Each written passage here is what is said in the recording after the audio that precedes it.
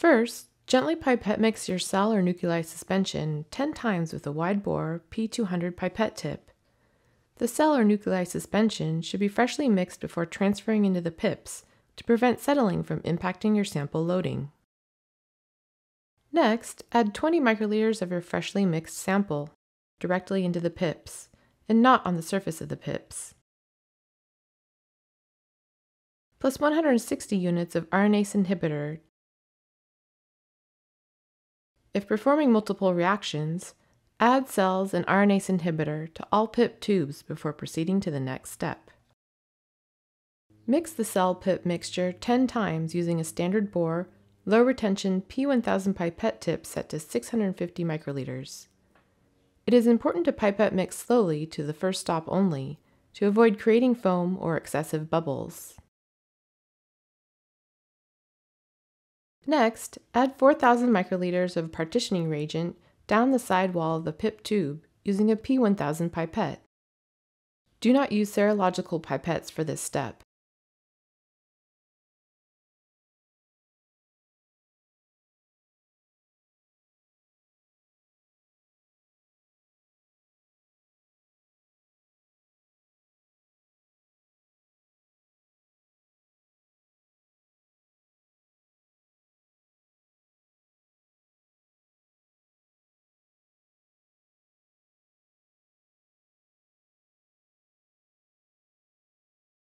Tightly cap tubes and place one tube in the rotating vortex adapter in the horizontal configuration.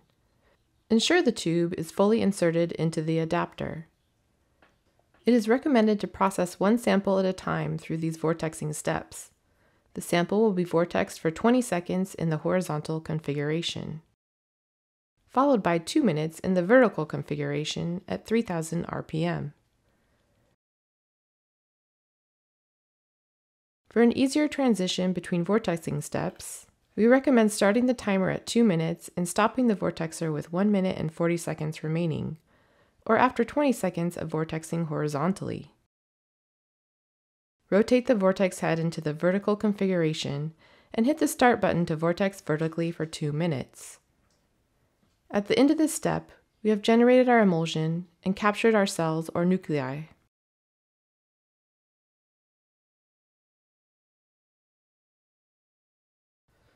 After letting the emulsion stabilize for at least one minute, remove the excess partitioning reagent from the bottom of the tube so there is room to add the chemical lysis emulsion. Slowly pierce through the emulsion to the bottom of the tube.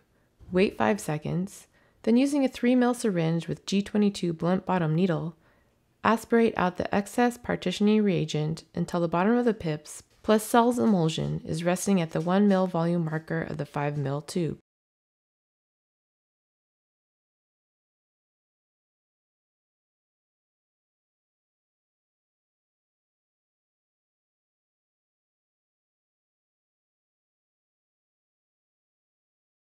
Aliquot 840 microliters of CLB3 into a 5 ml sterile, PCR clean, and emulsion safe tube for each sample being processed.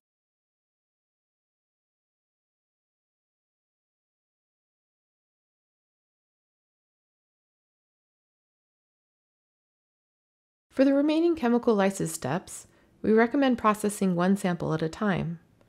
Add 2500 microliters of partitioning reagent down the side wall of one 5 ml tube containing CLB3.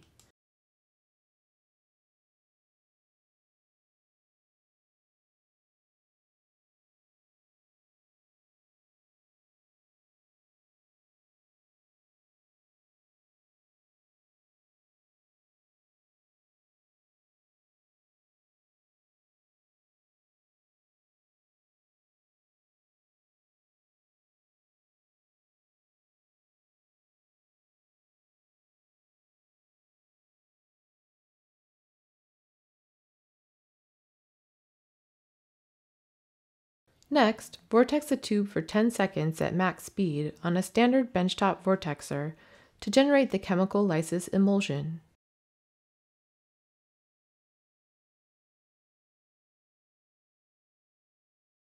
Immediately pour the entire chemical lysis emulsion into the PIP sample tube. and mix by inverting at least 10 times. Then proceed with the next sample by adding partitioning reagent and repeating these steps.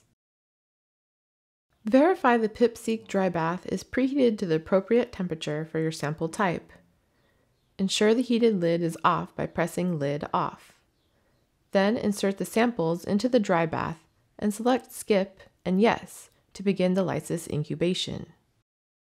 Please refer to the user guide for the cell and nuclei lysis temperature profiles for this step.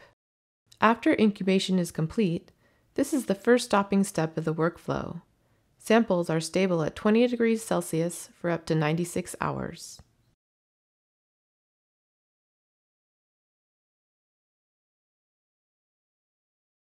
After preparing all of the mRNA isolation reagents, as detailed in the user guide, place the PIP tubes in a 5 or 15 ml tube rack and use a 3 ml syringe and blunt bottom needle to aspirate out the excess partitioning reagent from the bottom phase until the top meniscus of the emulsion is below the 1.5 ml marker of the 5 ml tube. The PIP emulsion is less than 1 ml in volume, so remove as much of the bottom layer of excess partitioning reagent as possible while ensuring to avoid aspirating the PIP's emulsion phase.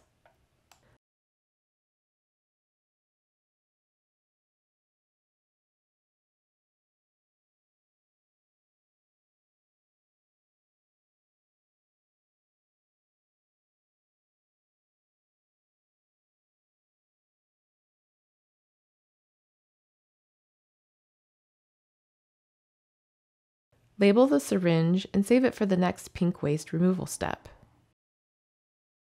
Next, we will add 2500 microliters of breaking buffer down the side wall.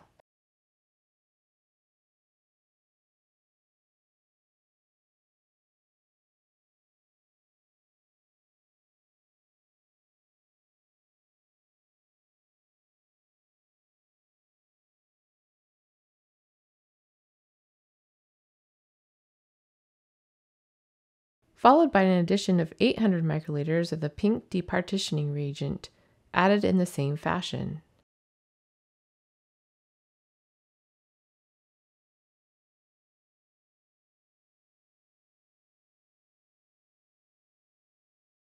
We will then invert the sample 10 to 20 times to break our emulsions.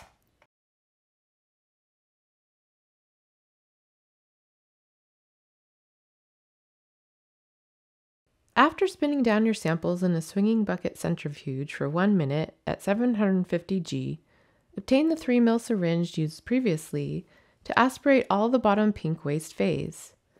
Move the syringe tip in a very slow circular motion at the bottom of the tube to ensure complete removal of the pink waste phase and the red droplet.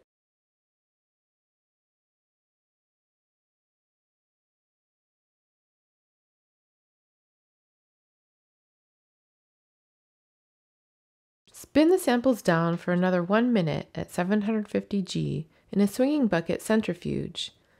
Then use good lighting to double check for any remaining pink waste at the bottom of the tube. Be sure to carefully aspirate out any remaining pink waste with the saved syringe using small circular motions.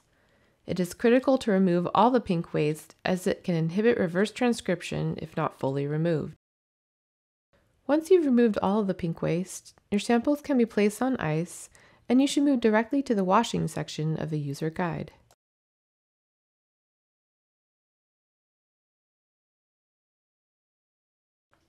With a P1000 low retention tip, slowly aspirate the pips from the 5 ml sample tube. And transfer that volume into one of the 1x washing buffer aliquots in the 15 ml tubes.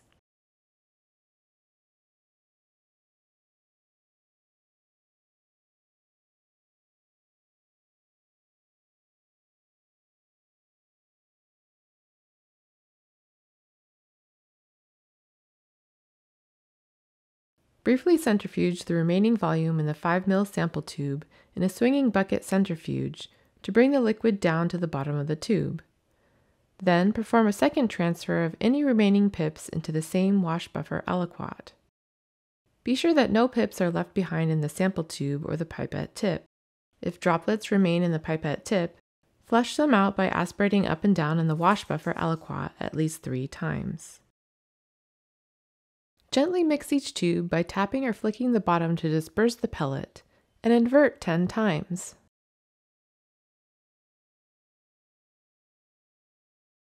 Load the 15 ml tubes into a swinging bucket rotor centrifuge and spin for 2 minutes at 750 G. Be sure to have braking set for 70 to 80% of maximum to avoid disruption of the PIP's pellet.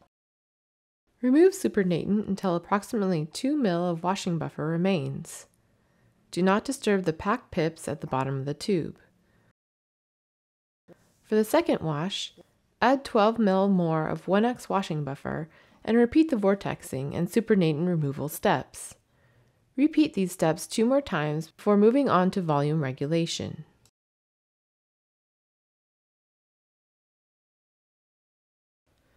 After the fourth and final wash, transfer and pellet the pips in a 5 ml tube by centrifuging for 2 minutes at 750 G in a swinging bucket centrifuge. Next, use a P1000 pipette to remove the remaining supernatant to the 1 ml volume marker on the 5 ml tube, being careful not to aspirate or disturb the packed pips pellet.